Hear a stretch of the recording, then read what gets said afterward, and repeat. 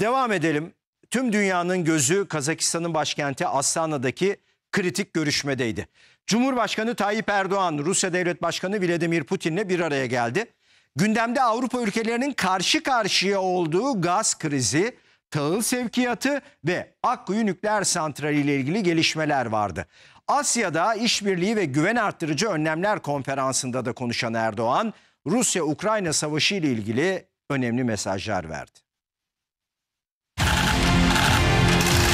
Tüm dünyada gözler Astana'daki kritik görüşmedeydi. Cumhurbaşkanı Erdoğan mevkidaşı Vladimir Putin'le bir araya geldi. Sayın Başkan sizlerle tekrar bir araya gelmekten duyduğum memnuniyeti özellikle ifade etmek istiyorum. Ve bu vesileyle 70.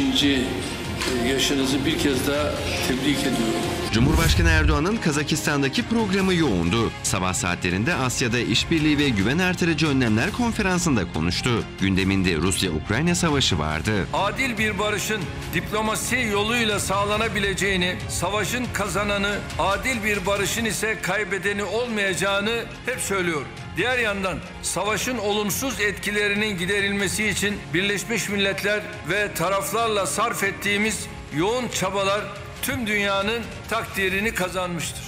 Ukrayna tahılının Karadeniz üzerinden ihracına yönelik İstanbul Mutabakatı ve geçen ay gerçekleştirilen esir takası bu yönde kaydedilmiş somut birer başarıdır. Cumhurbaşkanı Erdoğan konuşmasında terörle mücadeleye de önemli bir yer ayırdı. FETÖ, DAEŞ, PKK gibi terör örgütleri eylemlerini organize suç faaliyetleriyle destekliyorlar.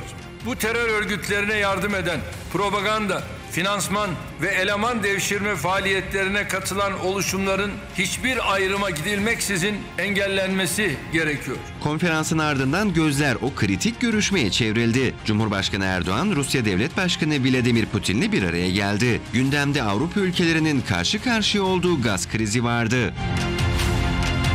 İki liderin görüşmesi yaklaşık bir buçuk saat sürdü. Görüşme öncesi Erdoğan ve Putin kameraların karşısındaydı. Akkuyu tabii çok çok önemli bir adım.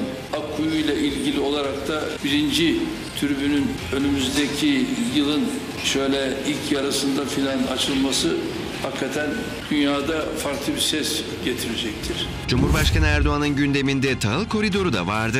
Rusya tahıl ve gübresinin Türkiye üzerinden az gelişmiş ülkelere naklini yapma konusunda bizler de kararlıyız. Bunu yapmamız da dünyada birçok dengeyi lehte çevirecektir diye düşünüyorum. Putin ise Ukrayna tahılını alan ülkelerin Erdoğan'a minnettar olması gerektiğini söyledi. Türk akımı üzerinden Avrupa'ya gaz tedariği yapmak istediklerini belirtti.